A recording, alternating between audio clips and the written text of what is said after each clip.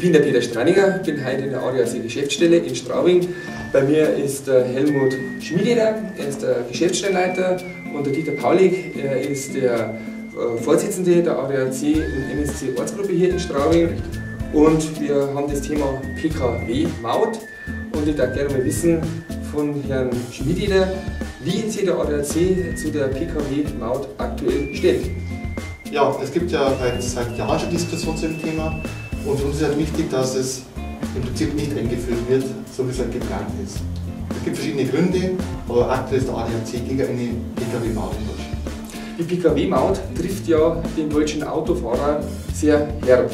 In der Mineralölsteuer ist ein nicht unerheblicher Anteil an Steuergeldern versteckt.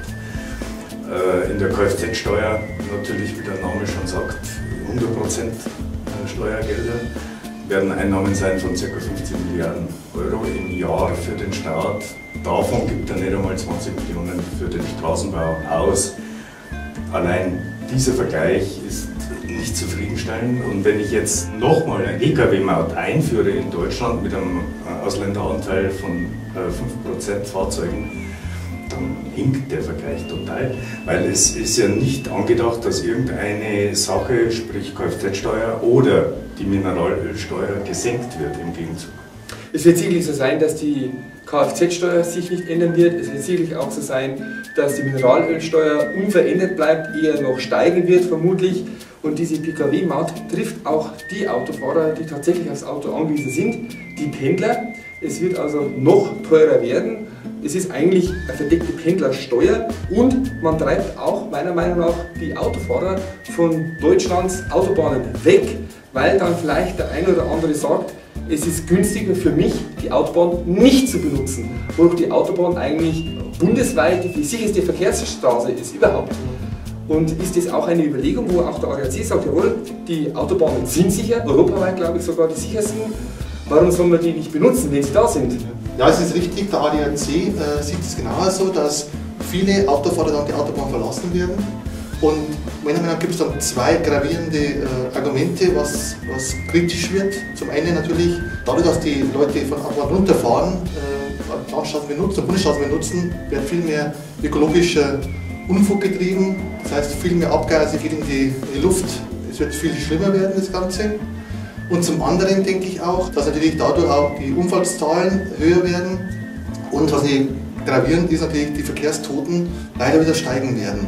Also es wird sicherlich nicht die Verkehrssicherheit steigern, wenn man die Pkw-Maut so einführt, wie es jetzt von der hohen Politik in München angedacht worden ist. Ich denke aber auch, dass sich im Bewusstsein der Menschen auch eines klarstellen muss, die Pkw-Maut kostet viel, wird aber nicht die Einnahmen generieren, die sie verspricht, weil das Beitreiben der Pkw-Maut kostet. Oder wie ist das? Die erste Investition ist wahrscheinlich so hoch, habe es jetzt nicht genau im Kopf, wie die Amortisation ist, bis überhaupt einmal der Break-Even erreicht ist, dass er Geld reinkommt. Wenn es keine Vergünstigungen gibt im Gegenzug, sprich Mineralölsteuer, Kfz-Steuer, dann passt das einfach. In, in vielen äh, Diskussionen wird ja immer gesagt, durch das, dass dann die ausländischen Fahrer belastet werden, kommt sehr viel mehr Geld rein. Aber Fakt ist, ausländische Fahrzeuge benutzen etwa im Schnitt 5% unserer Autobahnen. Also 95% sind deutsche PKWs.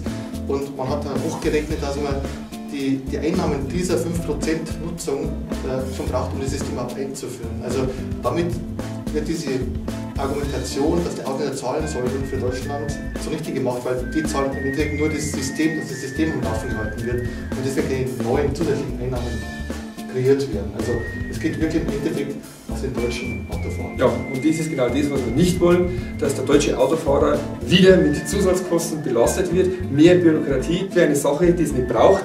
Wir haben gute Verkehrswege, wir haben die sichersten Autobahnen und das soll so bleiben. Und ich denke, der ADAC sagt ganz klar, warum wir es nicht brauchen. Ich bin der gleichen Meinung wie der ADAC. Und darum sagen wir ganz klar, Finger weg von dem Gedankenspiel, Pkw-Maut, die braucht man nicht. Und ich hoffe, dass viele das auch so sehen. Und das ist alles echt und ich setze auf den ADAC, der seine Mitglieder Macht auch dazu nutzt, diesen Unsinn zu verhindern. Ich schließe mich deiner Meinung an. Ich bedanke mich für das Gespräch. Gerne. Gerne.